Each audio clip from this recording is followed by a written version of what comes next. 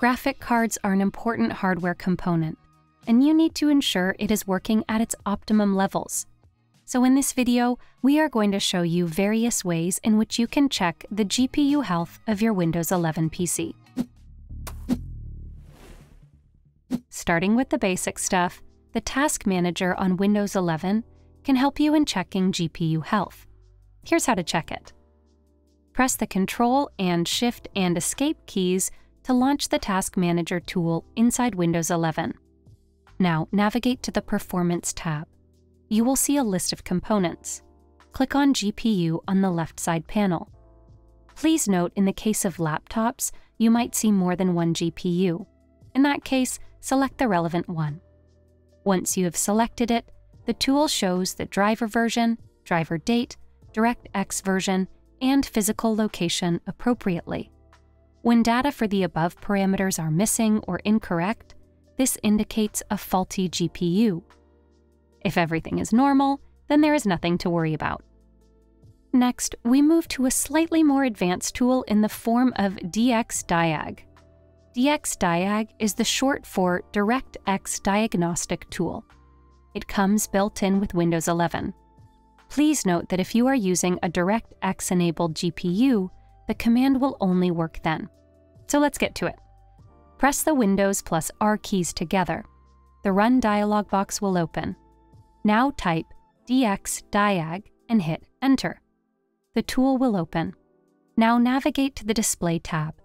Here you will see all the intricate details about your GPU, such as device manufacturer, DAC type, display memory, and software driver details as well. There should be a Features in the DirectX Features section. Direct Draw, Direct 3D, and AGP Texture Acceleration should show enabled. If these properties are empty, or the tool shows not available, there's a problem with the GPU driver or hardware. If that is the case, consider upgrading your graphics driver from the manufacturer's website. If everything is normal, then there is nothing to worry about. Another way is to check via the Device Manager panel. To do that, press the Windows and X keys followed by the M key to open Device Manager. Now expand the Display Adapters section. Right-click on the specific display adapter and click on Properties. Now, when the Properties dialog box appears, navigate to the General tab. Under General, check for the device status prompt. It should show the device is working properly.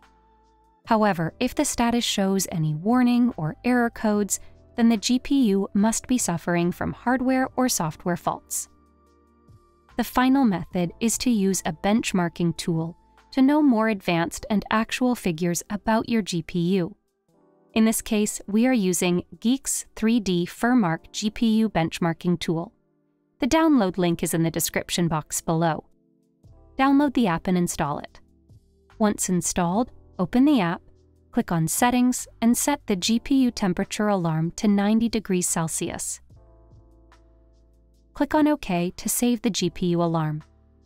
Next, under the GPU benchmark section, select any preset resolution for benchmarking. On the next dialog box, click on Go.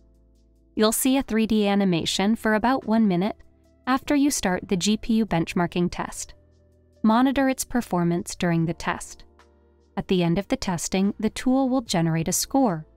You can match the score with similar other test results to find a comparative analysis of your GPU health. That is everything you need to know about how to check the GPU health on your Windows PC.